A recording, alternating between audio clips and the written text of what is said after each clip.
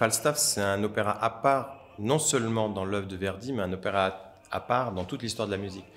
Euh, c'est très intéressant parce que pour un chef d'orchestre, en tout cas pour moi, c'est euh, un des plus grands chefs-d'œuvre de Verdi et il n'a jamais vraiment atteint un succès populaire comme l'est par exemple Traviata que tout le monde connaît hein, ou Rigoletto, on chante les airs.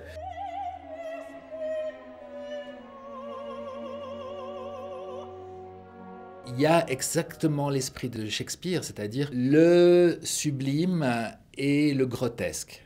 Et tout le temps, tout le temps, tout le temps comme dirait euh, Victor Hugo. Et ça, c'est magique. Pour un metteur en scène, c'est magique. Dans les tragédies de Shakespeare, il y a ça tout le temps. C'est-à-dire qu'il y a au milieu des tragédies des choses monstrueuses, affreuses, humaines malheureusement. Il y a bah, la farce, la blague et, et, l'humour.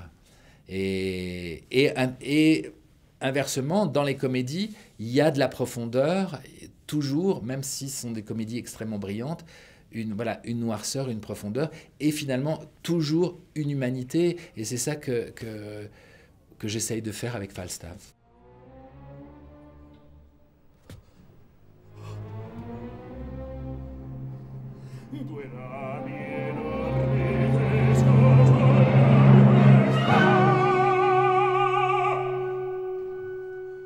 À l'intérieur de Falstaff, à chaque mesure, il y a quelque chose qui est caché, soit dans l'orchestration, soit même parfois dans des références à d'autres compositeurs.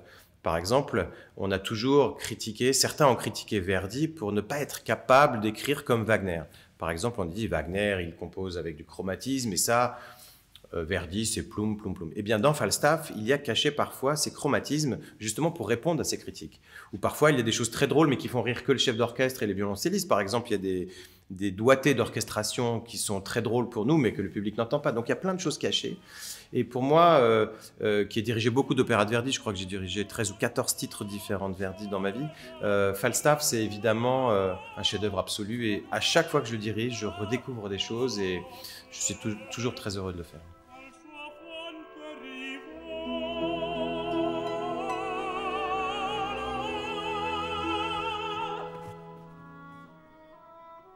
Ce qui m'intéressait, c'est deux mondes, c'est-à-dire le monde de Ford et, sa famille hein, et des commères de Windsor et le monde de Falstaff.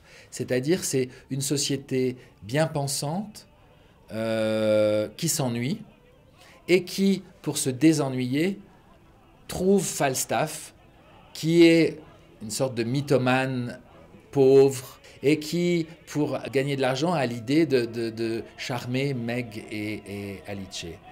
Et, cette, société qui s'ennuie, elle va trouver quelqu'un sur qui taper, quelqu'un comme un jouet, comme un souffre-douleur et comme un, comme un jouet qu'elle va aller jusqu'à casser à la fin.